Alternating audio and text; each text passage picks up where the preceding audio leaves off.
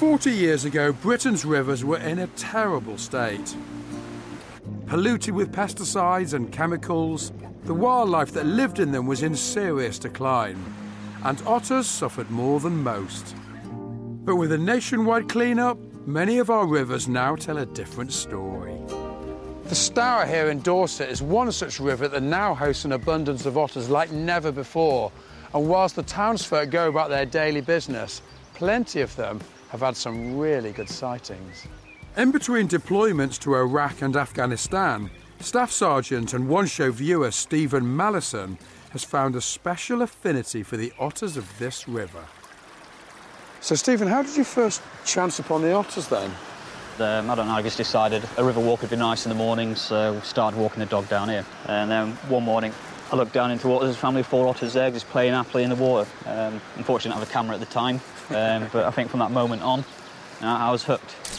Whilst without his camera on that occasion, since then, not only has he been taking some cracking photos, but by charting the positions of his sightings on a map, he's providing valuable information for the local wildlife trust and us.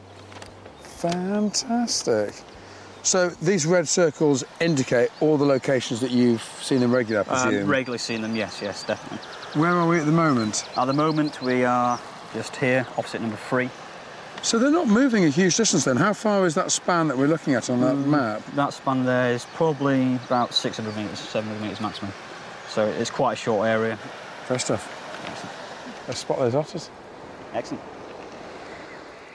Otters might be making a comeback, but from my experience, they are extremely elusive and require an early start with lots of patience.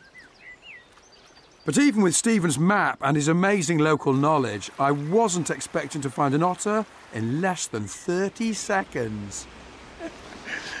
right at the bottom of the weir, we've got an otter. It's just coming straight towards us down the bottom of the weir. Oh, Oh, that is brilliant. I have to say, I think I'm a pretty good naturalist. I've got a very good set of eyes for spotting things. And you were just like all over this. there's one there, there's one there. You can see that lovely outline. You see the big broad head and the body as well, and then that, that flattened tail coming up. There you go, down again. It's just almost like a porpoise or a dolphin in the water. I'm just, I have to say, I'm just blown away. I thought we might get a glimpse or two. I had no idea it'd be kind of coming up and down and feeding away. As the otter at the weir disappears, we use Stephen's map to see if we can find any more. And the morning just gets better and better. Oh,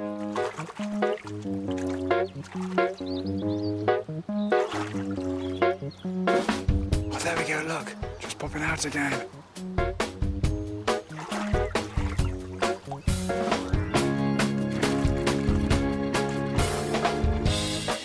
Look at the trail of the bubbles on the water.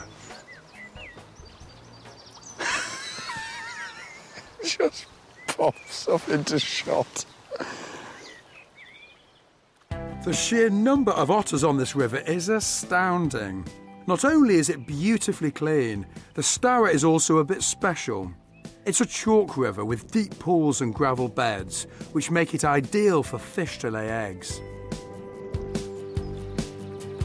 This creates both an abundance of food for wildlife and a perfect habitat. So perfect, in fact, that Stephen has seen up to nine otters living along this very short stretch. Considering 40 years ago these animals were virtually extinct in the UK, I just can't believe how many otters there now appear to be. It's thrilling. Amazing. It's Absolutely thrilling, Stephen best view of otters I have ever had. I get this sort of treat every day.